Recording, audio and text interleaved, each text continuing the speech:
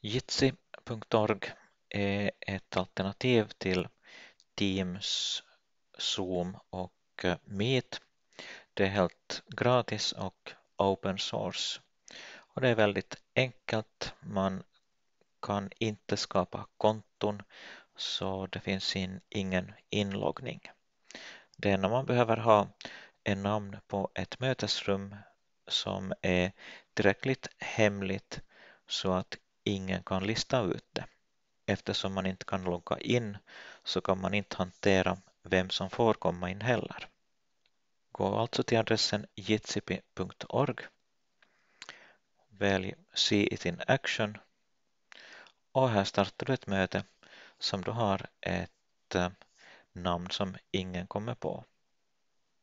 Vi kan till exempel skriva 5647 och Arbis och nu kan vi vara ganska säkra på att ingen listar ut det där riktigt snabbt. Åtminstone inte under tiden som man har ett möte. Och kör.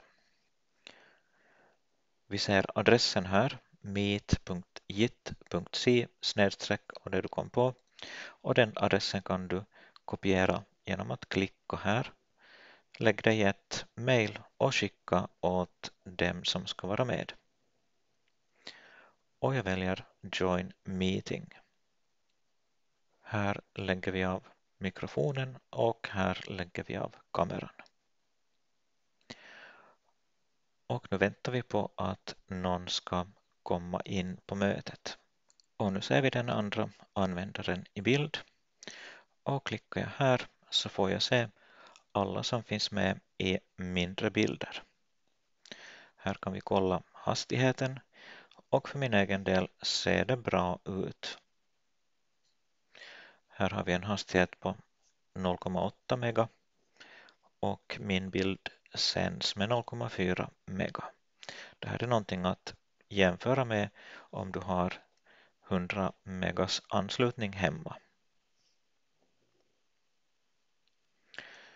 Om vi vill öka på säkerheten så kan vi använda ett väntrum, Enable Lobby.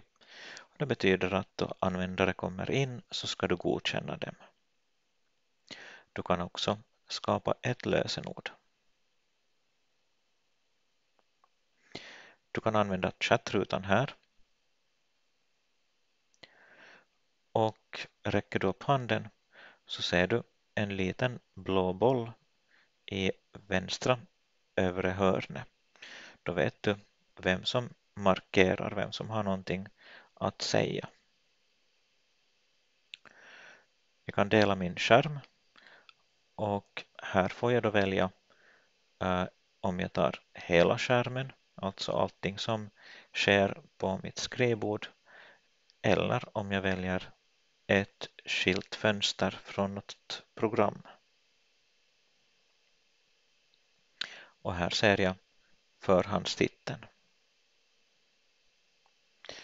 Och om jag väljer den här så ser vi äh, äh, vad som skickas från min dator och då jag trycker en gång till på den här delningsknappen så då äh, upphör delningen. Om någon kommer sent in så får jag fram adressen här. Kopiera, klistra in det i mail eller någon chatt så att personen i fråga kan logga in. Ytterligare inställningar hittar du här. Om du har en lite sämre internetkoppling så kan du välja en sämre videokvalitet och på så sätt så bibehålls ljudet.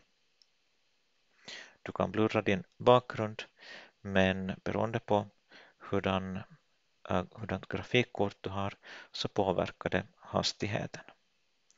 Du kan tysta ner alla om det så behövs och här ser du sen också talarstatistik. Då mötet är klart avslutar du som med de allra flesta program genom att trycka på röda luren.